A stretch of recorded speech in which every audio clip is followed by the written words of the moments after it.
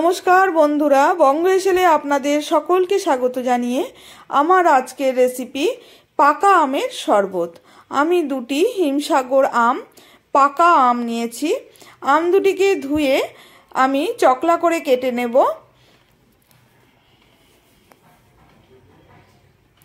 দেখুন বন্ধুরা, আমি আমটাকে চকলা করে কেটে নিয়ে এসেছি। এবার আম থেকে আমি শাঁসটাকে বের করে নেব। আমি আমের চকলাগুলো থেকে আমের শ্বাস বের করে নেব। চামচ দিয়ে এভাবে আমি আমের শ্বাসটাকে বের করে নিচ্ছি। এবার এই শাঁসটাকে দিয়ে আমি প্রথমে মিক্সিতে পেস্ট করে নিয়ে আসব। তার জন্য আমি একটা মিক্সিং জার নিয়েছি।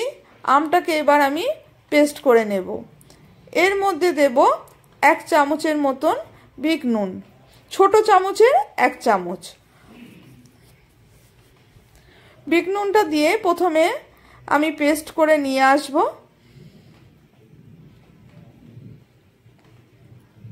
দেখুন, পেস্টটা কিন্তু বানানো হয়ে গেছে। এবার আমি এর মধ্যে ঠান্ডা, ফ্রিজে রাখা ঠান্ডা জল দিলাম। দিয়ে আবারও আমি একবার পেস্ট করে নিয়ে আসব। দেখুন বন্ধুরা, আমার পেস্টটা কিন্তু বানানো হয়ে গেছে, শরবতটা কিন্তু রেডি হয়ে গেছে। আমি এই আমের শরবতের মধ্যে কোনো চিনি বা কোনো মিষ্টি ইউজ করিনি। আপনারা যদি টক আম হয়ে থাকে, তাহলে আপনারা ইউজ করতে পারেন। আমি যেহেতু এটা আমটা খুব মিষ্টি আম, সেই কারণে আমি এর মধ্যে কোনো চিনি দেইনি। আপনারা টক আম হলে দিতে পারেন। এর মধ্যে আমি সাজিয়ে নিচ্ছি একটু ভাজা জিরে গুঁড়ো একটু বিট নুন আর কাশ্মীরি লঙ্কার গুঁড়ো দিয়ে আমি শরবতটাকে সাজিয়ে নিলাম।